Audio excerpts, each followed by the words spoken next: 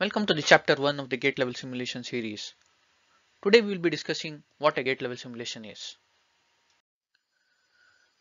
So to understand the gate level simulation, we need to understand the flow.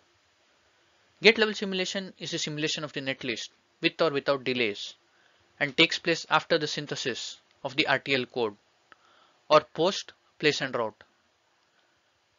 RTL simulation, which is a simulation of an RTL aims to check and verify the functionality and the source, which can be described in one or more HDL languages. Gate level simulation is used to check and ensure that the desired functionality is not lost during synthesis. So let us understand the gate level simulation flow. You will basically be getting a netlist and an SDF from a backend team.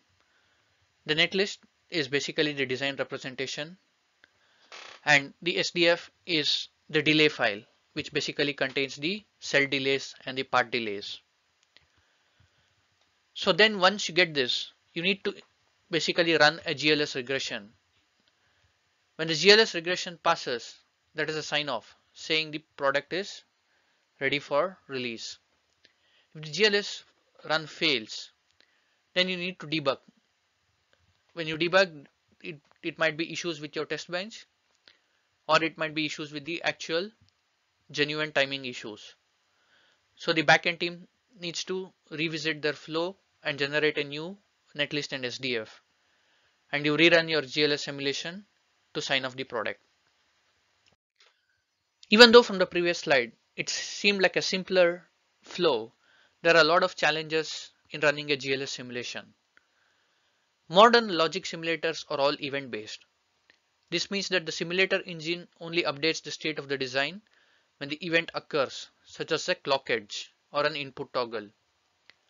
In RTL simulation, this is generally once per clock cycle, and RTL simulations are relatively fast. In GLS, because of the greater complexity of each element, there are many more events to calculate. And even in zero, or unit delay simulation, it will take much longer to run than an RTL simulation. When you add the actual timing delays, the number of events grow exponentially. So what this means is GLS is inherently very slow to run. So it does not make sense to run all your test cases in GLS simulation. You need to identify the optimal list of tests that you want to run to utilize GLS in discovering functional or timing bugs. So when when there is a timing issue in any of the nets in your GLS simulation, an X is propagated. And debugging this X propagation is not easy for a verification engineer. There are a lot of forces that are there in your test bench.